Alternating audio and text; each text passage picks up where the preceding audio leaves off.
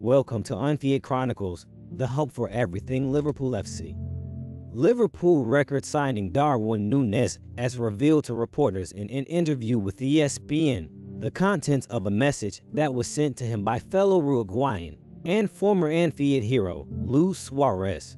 Núñez signed for Liverpool during the summer and initially had a bumpy start to the season, especially when he was sent off in a clash against Crystal Palace in his first home start. He was subsequently suspended for three matches and was clearly at a low point.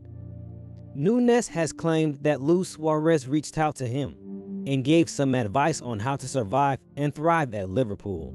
It was a good thing because not many would bother themselves to pick up the phone and send you a message. I think his gesture was really important for me.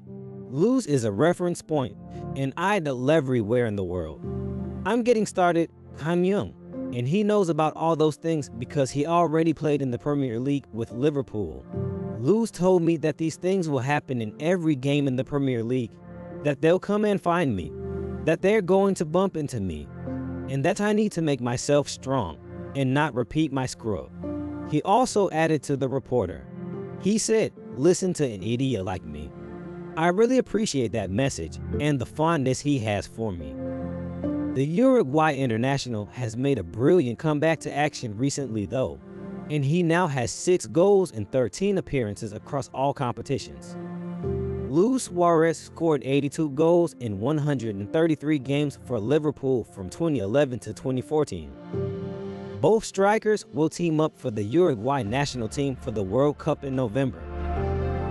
Andy Robertson believes it is not appropriate to compare Manchester City striker Erling Haaland to Liverpool's Darwin Núñez. It's not fair on anyone. Speaking in a post-match Mixed Zone interview, he also added these words about Darwin. The only reason they're getting compared is because they play the same position and they moved in the same window. Really, it's not fair on anyone if it was vice versa. It wouldn't be fair on Haaland either. It's two incredible players, and we're delighted to have Darwin here. He's still young, which everyone forgets, and in front of goal, he's been really clinical. In terms of he's maybe not played as many minutes, with a three-game ban and a couple of injuries. And he's still adapting, but he's getting there, and you can really see what his threats are. I think he caused Ajax a lot of problems, and they were always worried about him and he got his goal that he definitely deserved. Liverpool are reportedly in the hunt for midfielder Bruno Guimaraes. The Newcastle United player was signed by the club midway through last season in a £35 million deal.